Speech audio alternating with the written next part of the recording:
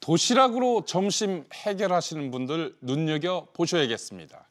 최근에 정기적으로 배달받는 도시락 많이들 이용하시는데요. 일부 도시락에서 식중독균이 검출됐습니다. 보도에 류선우 기자입니다.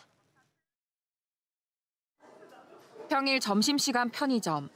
간단히 끼니를 때우러 온 직장인들이 많습니다. 집에서 먹는 것보다 시간도 빠르고 그리고 배달 음식보다는 조금 덜 몸에 안 좋고 그리고 돈도 아낄 수 있어서 도시락을 찾고 있습니다. 시간이 또 없다 보니까 아침에 출근하기도 바쁘고 이래서 그렇게 해먹는 경우보다는 간단하게 그런 구독 서비스를 이용하거나 아니면 그 회사 근처에서 많이 사 먹는 거. 고물가 속 가성비 좋은 도시락을 찾는 사람들이 부쩍 늘었지만 조리된 뒤 시간이 지나서 먹는 만큼 안전에 각별히 유의해야 한다는 지적이 나왔습니다.